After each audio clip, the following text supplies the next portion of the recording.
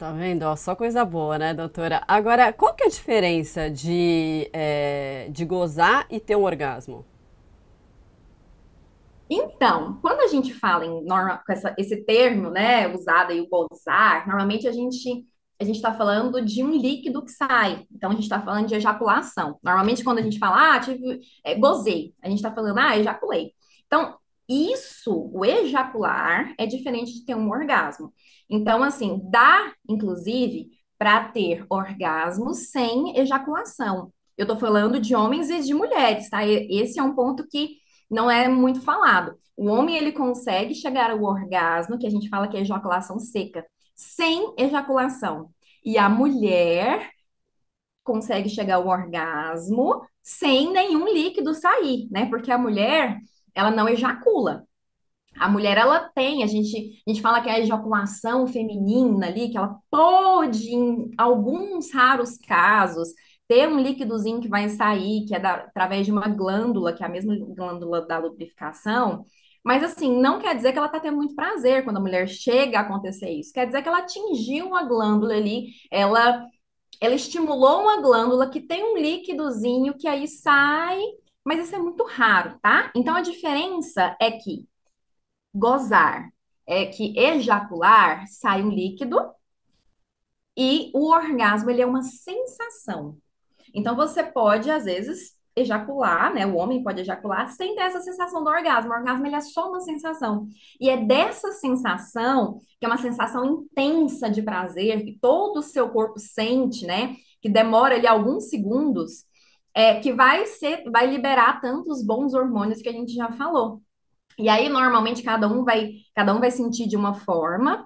É, normalmente, é, a gente tem uma contração muscular, tá? A gente contrai involuntariamente a musculatura do corpo. Alguns podem dar uma, pode dar uma tremidazinha, alguns podem ejacular, né? Que é o gozar. E alguns não precisa ter nenhuma reação, só aquela sensação intensa de prazer. Agora, doutora, tem ali vários níveis de orgasmo. Como que uma mulher ela vai saber, né, se ela de fato chegou lá? Eu costumo falar, Marcela, que a mulher que ela, que ela tem dúvidas se ela teve um orgasmo é porque normalmente ela não teve, tá? Porque é uma sensação, não, não precisa ser demorada, tá? Mas é uma sensação intensa de prazer. Então você tá ali na relação, tá ali, a coisa tá acontecendo, e às vezes nem tá acontecendo, às vezes você tá tá só na preliminar, não precisa estar necessariamente acontecendo, não precisa necessariamente estar em penetração, às vezes está estimulando só, né? é, na imaginação. Só que em algum, algum momento desse tempo aí de estimulação, você sentiu um prazer intenso. Isso é um orgasmo. Isso é chegar lá. É, e aí eu já quero deixar também um recado para as mulheres, nós que me falam muito, né?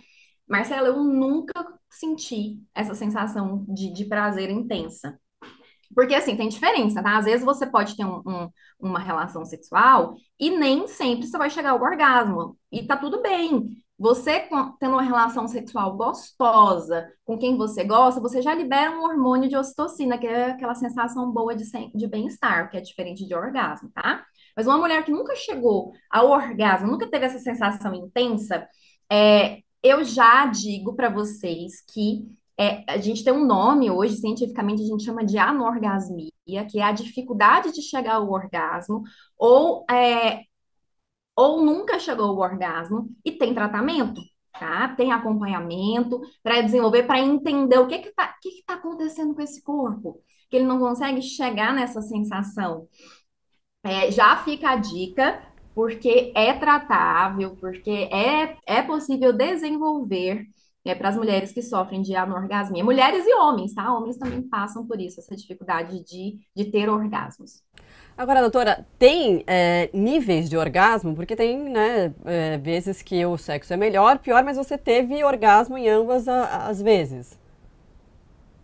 É, a gente não, a gente não tem nada para medir, né? Só o depoimento das pessoas. Só que, é, como eu falei para, como, como eu te falei, né? Aquela sensação, ela pode vir da mais rápida, assim, alguns segundos até mulheres até minutos.